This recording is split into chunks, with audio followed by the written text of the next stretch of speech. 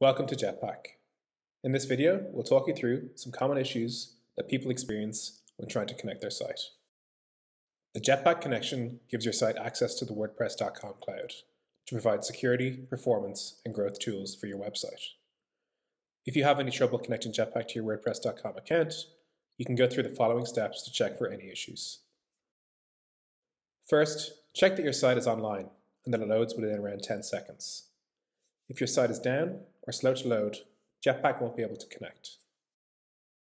Next, check that your site is running the latest versions of WordPress and Jetpack. You can visit your site's updates page to check for any available updates. If that all looks good, there could be an issue with your site's XML-RPC file. This is the file that Jetpack uses to make requests to your site.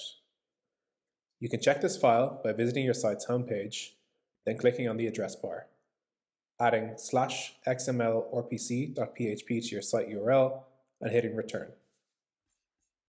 You should see a single line of text that reads XML-RPC server accepts post requests only.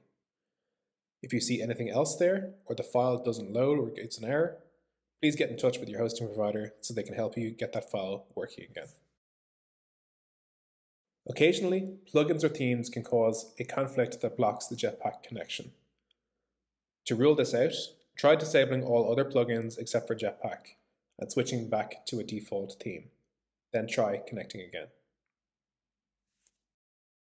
To change your theme, click on Appearance and then Themes, and then choose a default theme like 2020.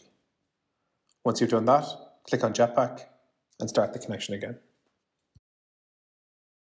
If it works, you can enable your theme and plugins again one at a time to ensure the connection keeps working. If you do find a conflict, you may want to get in touch with the author of the theme or plugin to see if they have a fix available. Finally, if you see any errors relating to DNS, file permissions, memory shortage, or 500 errors, these are issues at the server level, so the best course of action is to contact your hosting provider for assistance. If you've gone through all of these steps and you're still having trouble connecting, visit our support page to get in touch, and one of our happiness engineers will be happy to help. Thanks for watching.